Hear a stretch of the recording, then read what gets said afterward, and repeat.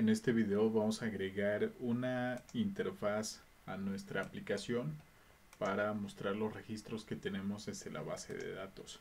Entonces, esto que tenemos aquí es un proyecto de Django que se ha creado con PyCharm. Igual lo puedes crear con Visual Studio Code, no hay ningún problema. Y eh, lo que vamos a hacer a continuación es agregar una plantilla para el frontend. Bien, voy a ajustar aquí el zoom para tener mejor control sobre el código. Bueno, el primer paso a realizar es eh, crearnos una aplicación utilizando la instrucción Django Admin En Windows deberías escribir djangoadmin.exe, aquí solamente en Linux Django Admin Startup y le colocamos el nombre de frontend. Esperamos unos segundos, en este momento eh, ya ha finalizado. Y lo que vamos a hacer a continuación es crearnos dos carpetas aquí dentro de la carpeta frontend. La primera carpeta se va a llamar static que es en donde se van a guardar todos los archivos de JavaScript, los de hojas de estilo, que los conocemos como CSS, y las imágenes. E incluso archivos que no vayan a cambiar a lo largo de, eh, de toda la aplicación. Y ahora vamos a agregar una segunda carpeta llamada templates. Y esta carpeta va a contener nuestra plantilla de HTML. Eh, lo que sigue a continuación es que eh, debemos descargarnos una plantilla.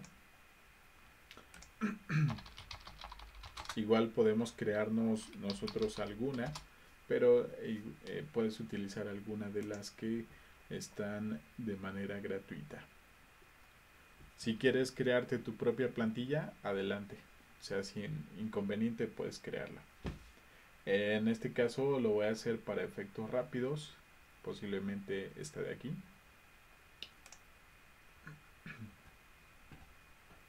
Descargo la plantilla.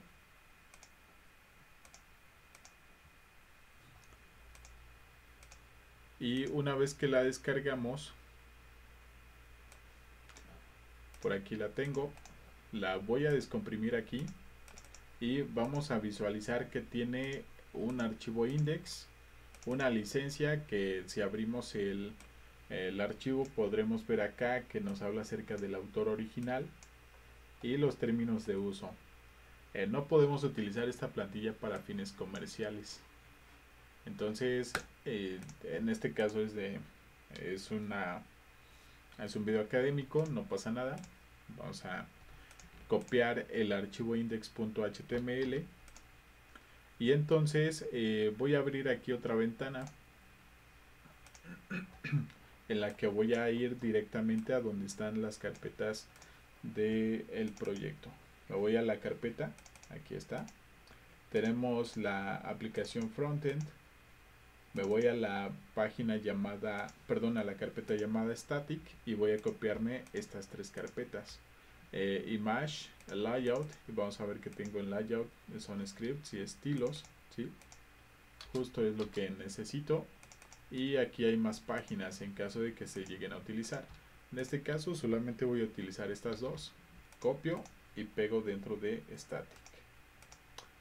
Y ahora eh, voy a ir a mi carpeta que se llama templates y voy a copiarme el archivo index.html. De hecho nada más lo voy a copiar Ahí quedó. Y listo. Entonces lo que sigue a continuación es verificar que ya tengamos esos archivos dentro de las carpetas respectivas. Y es correcto. Entonces hasta aquí nos quedamos en este video.